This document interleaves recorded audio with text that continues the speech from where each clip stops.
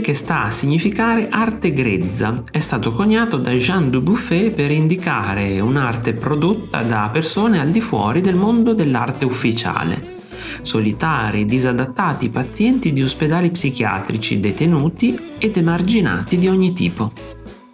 L'ideatore del concetto di art brut è Jean Dubuffet, pittore, scultore, litografo e scrittore francese.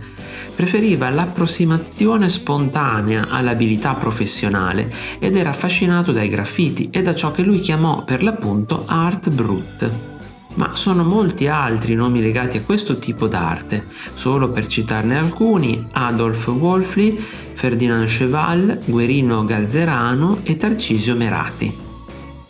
Dubuffet cominciò a mettere insieme la sua collezione di art brut nel 1945 e nel 1972, dopo aver raccolto più di 5.000 pezzi, la presentò alla città di Losanna, dove fu aperta al pubblico al castello di Beaulieu nel 1976.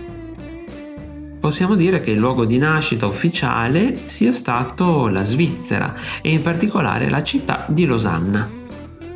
Jean Dubuffet riteneva che l'art brut fosse la prova di una capacità creativa che tutti possiedono, ma che nella maggior parte delle persone è soffocata dalle pratiche dell'istruzione e dagli obblighi sociali.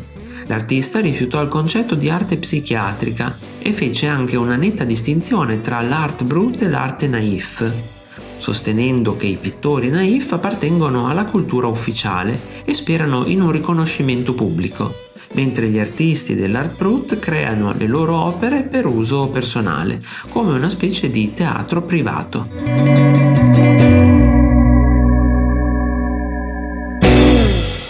Se il video ti è piaciuto metti un bel like, lasciami un commento, condividilo con i tuoi amici. Ricordati inoltre di iscriverti al canale e di cliccare sulla campanella per non perderti i nuovi video. Ciao!